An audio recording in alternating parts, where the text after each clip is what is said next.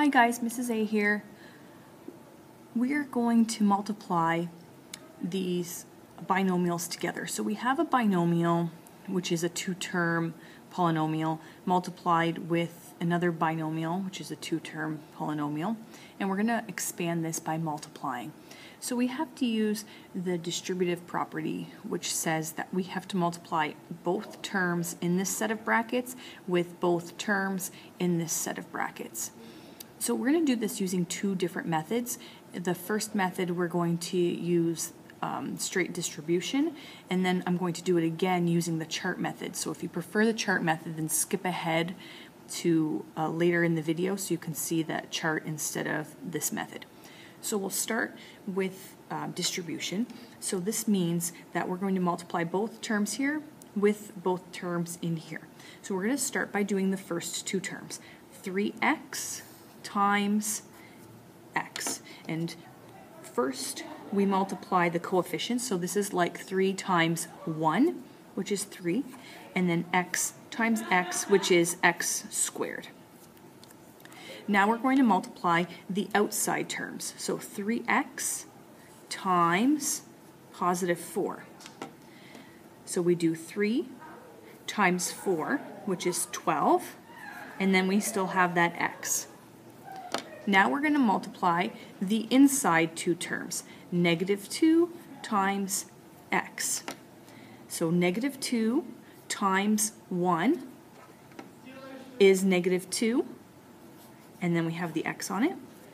And finally, we're going to multiply negative 2, this term here, with the positive 4. So we're multiplying the last two terms together and negative 2 times positive 4 gives us negative 8. So here we're almost done expanding. We just have those middle two terms that are like terms, so we do have to combine them together before we can be um, finished with this. So the 3x squared stays the same. We have a positive 12x minus 2x. So 12 minus 2 is positive 10 x, and then we're left with the minus 8 at the end. And now we have um, completely expanded the two binomials using multiplication to get us a trinomial, which is a three-term polynomial. So that's using the um, regular distrib distributive law. Now we're going to do this again using um, the chart method because I know that some people um, need to see it visually. So let's write out the question again. 3x minus 2 times x plus 4. And we will use the chart. So in order to expand this with the chart method, we start off with something that looks like a tic-tac-toe board. And the point of doing this is to create a multiplication chart, in a sense, like you guys are used to using since um, grade school. Now, we take this multiplication chart and we're going to fill in the terms that come from the two binomials. So let's do the first um, binomial on the uh, top row of the multiplication chart. So we're going to write 3x here. And then we have the minus 2. We're going to put it here. Don't drop that negative sign when you do it. Now look at the second binomial that we have. We have an x term, which we'll put here and then we have a positive 4. So that one's positive, um, so we leave it like that. Okay, so now we filled in the outside of the multiplication chart. So now we're going to go ahead with the multiplication. In this box, we multiply x times 3x, and we get 3x squared. In this box, we multiply 4 with 3x, and we get 12x. In this box, we're going to multiply x with negative 2, and we get negative 2x.